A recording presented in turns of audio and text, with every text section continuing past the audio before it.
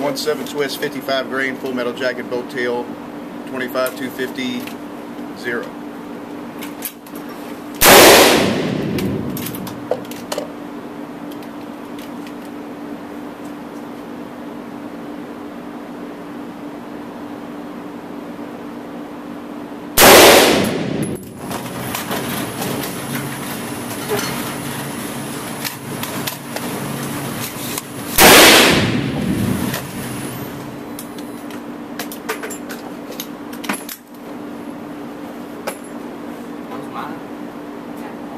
It's home. Is it not catching them? Yeah, Oh, did you're I? going like right here.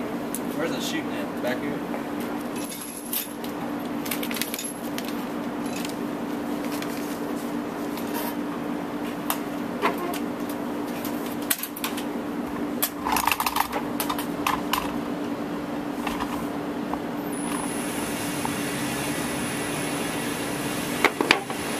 Left hand, left handed's a bitch. Yeah.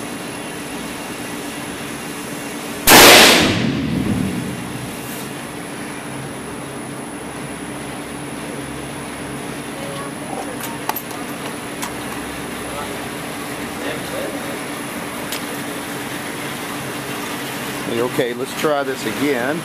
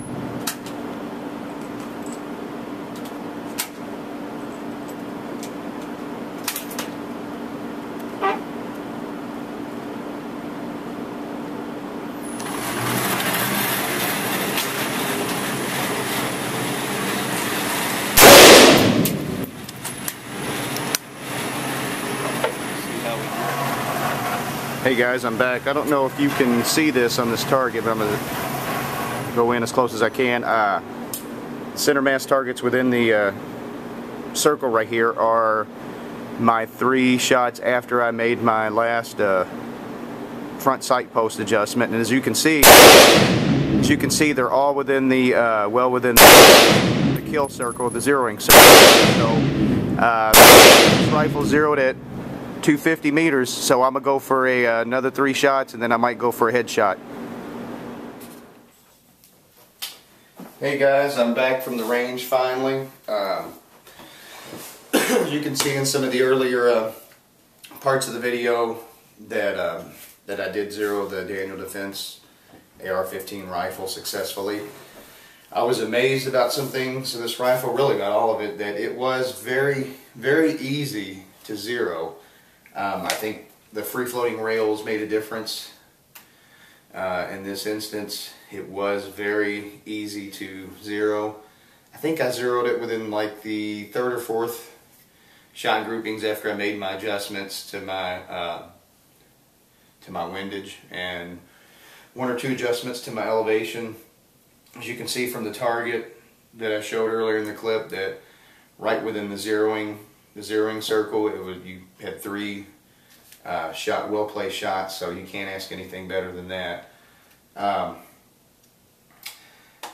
the only thing I didn't like about the rifle, and I'm surprised if, if you're if somebody from Daniel Defense is watching this, guys, you might want to, you know, come out with something a little bit better than you did have, but it's the rear iron sight that I'm talking about. It's okay. Uh, it came with, like I said, it came with my rifle. Uh, it's pretty standard A1 type of uh, sight. it did the job, but I really had a hard time adjusting it. Um, I left a little few Mars on the side where I had to adjust it with like I think a ballpoint pen or something like that. They somebody hooked me up with at the range, but it was pretty difficult because you have to push in that detent and then you know make your adjustments on your wheel right or left. But I can't really grip onto it with my fingers. That's the trouble with those old A1 sights. I'm used to the A2 that have the rear elevation wheel windage knob or the knob and your uh, left and right windage knob. That's what's so so good about the uh, the A2 sights. For the price I paid for this, I really wish they would have put something on here a little bit more better than the A1 sight, or at least made the A1 sight a little bit easier to adjust because it was for a while there it was a pain in the butt, and I kind of marred up my sight, which the sides of my sight, which I'm not too happy about, but a little solvent and some elbow grease and it'll come off and be just good as new. Now what's going to happen with that guys, I'll probably, uh, whenever I go back to the gun store, I'll probably uh, get a Magpul uh, backup rear iron sight. I did look at those at the store when I was at the uh, when I was at open range where I went to shoot. They did have a nice Magpul backup uh, backup iron sight that's flip up. I might go ahead and invest in that uh, next month or two.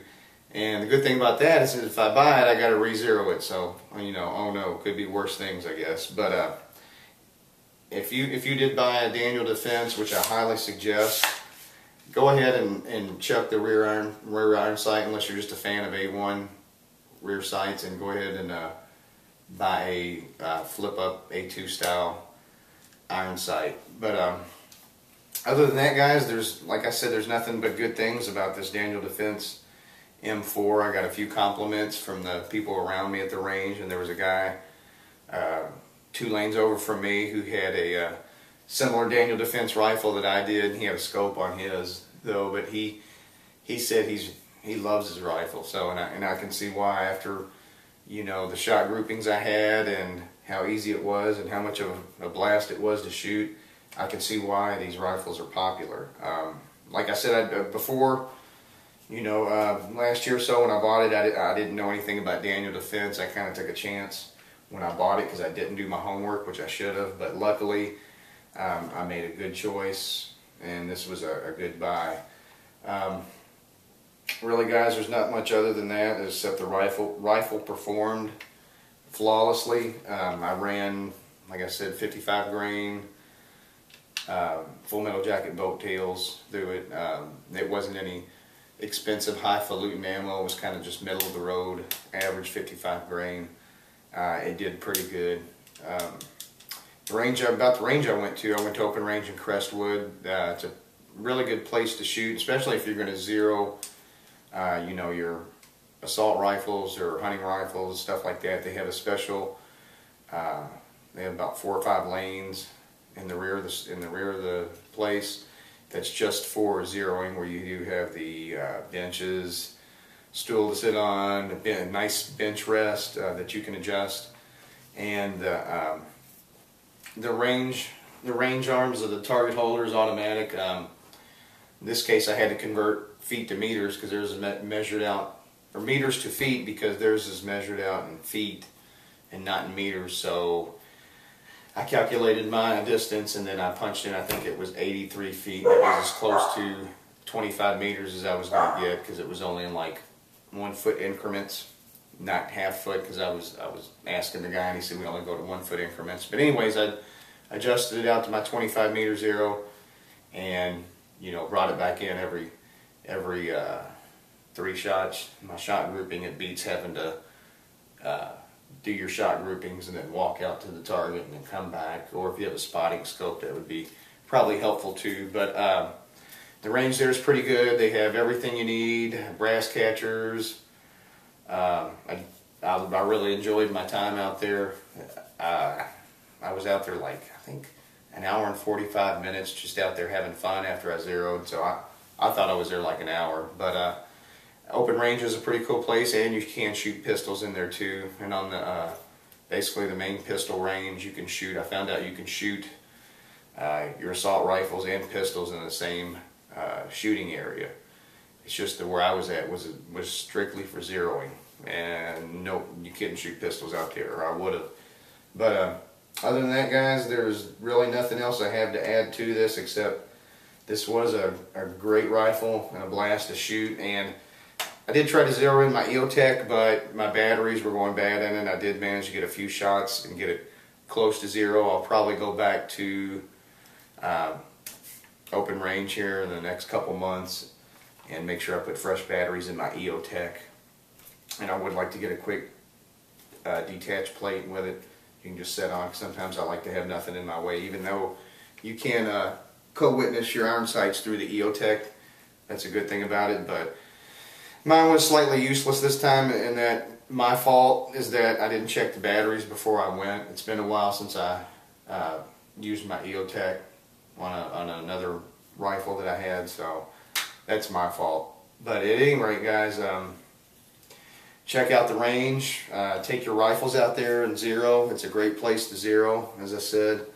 And uh, anything you else you want to know about my Daniel defense or how it did, just let me know. I'll be more than happy to uh, reply back to you through YouTube. But if you can, guys, go to your gun store and uh, check out one of these and see how much they run. And if you like it, go ahead and buy it. Uh, you won't be disappointed with it at all. Until then, I'll see you later, guys.